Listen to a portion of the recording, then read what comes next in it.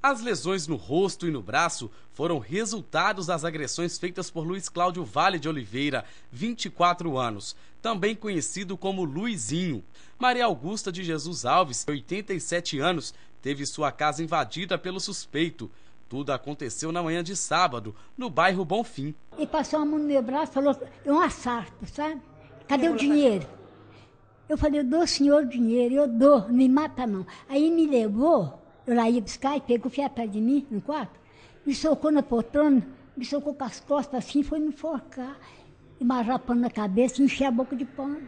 Tudo aconteceu nesta casa, aqui na rua José Santana da Silva. A idosa diz que, além de ter sido espancada, foi ameaçada de morte pelo suspeito. E ele falava toda hora que ia matar a senhora? Vou matar. O que a senhora falava para ele nesse momento? De hoje me mata. Não. Eu te dei meu dinheiro tudo para você. Me mata, hoje, vou matar. Ele falou, essa não grita, essa não sai.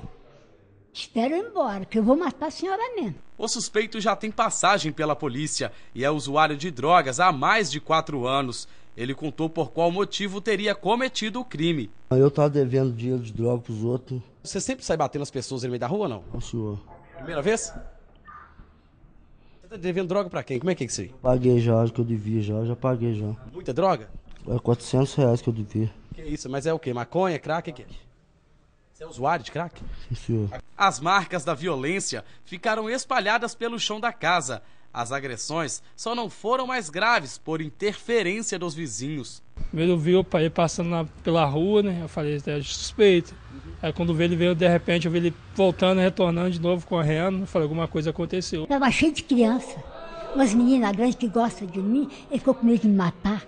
E as crianças gritaram, o povo pegar ele. Quando eu cheguei na minha casa, na colônia, ele, tinha chamado a minha irmã para voltar lá rápido, que o rapaz tinha acontecido o assalto. Aí ela disse, só para cá que o rapaz assaltou a mãe aqui. Aí eu fiquei doido, peguei a mototáxi e subi igual doido. Aí chegou lá, já estava machucada no sofá, estava machucado, o rapaz tinha ido embora. Aí os vizinhos que socorreu ela. Felizmente a Polícia Militar conseguiu combater aí, o autor está preso e foi entregue aí à autoridade policial. O filho de Dona Maria Augusta espera que a justiça seja feita. Se existir justiça, eu espero que a justiça faça ele pagar isso aí. Fica sentido, fica. Não coisa que faz, não, hein?